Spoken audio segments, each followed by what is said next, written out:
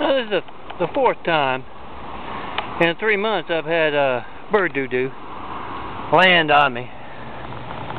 Now I'm kind of an outdoors guy, and before those four birds took their aim, uh, I'd never had one happen. So just in case someone can train birds to targetedly aim